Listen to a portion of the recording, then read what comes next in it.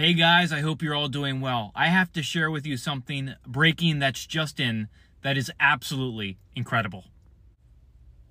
This is just in from the Times of Israel. Look at the title of this article, folks.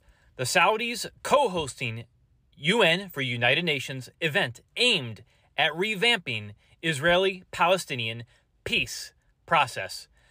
As you guys know, because we've been talking about it for the last few months, um, this upcoming September 18th and September 19th, which is going to be happening right during the Feast of Trumpets.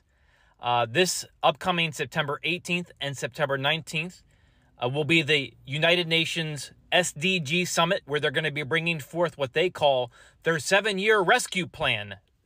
Uh, because the world's in peril and we need a rescue plan right now. So they're bringing forth a seven year rescue plan at this rescue plan summit.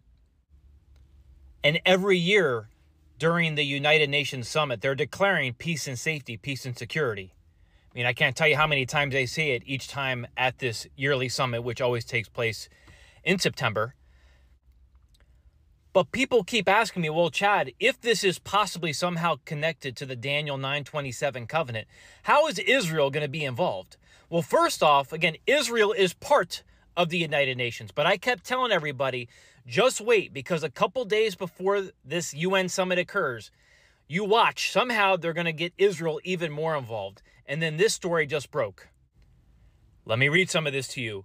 Saudi Arabia will be co hosting an event on the sidelines, on the sidelines of the United Nations General Assembly next week, focused on revamping the Israeli-Palestinian peace process. Three UN diplomats told the Times of Israel on Thursday.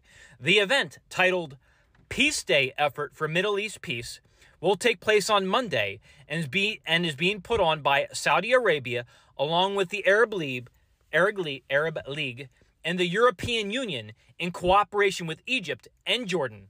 One of the diplomats said UN Secretary General Antonio Guterres will be the keynote speaker.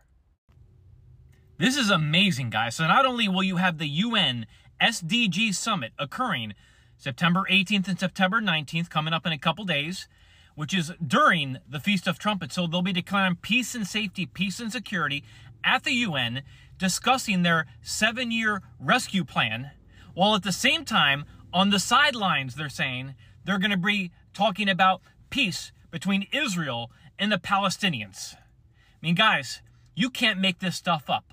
Let's watch and wait and see what occurs. But we are living in amazing times, and Jesus is coming soon. Keep watching with me.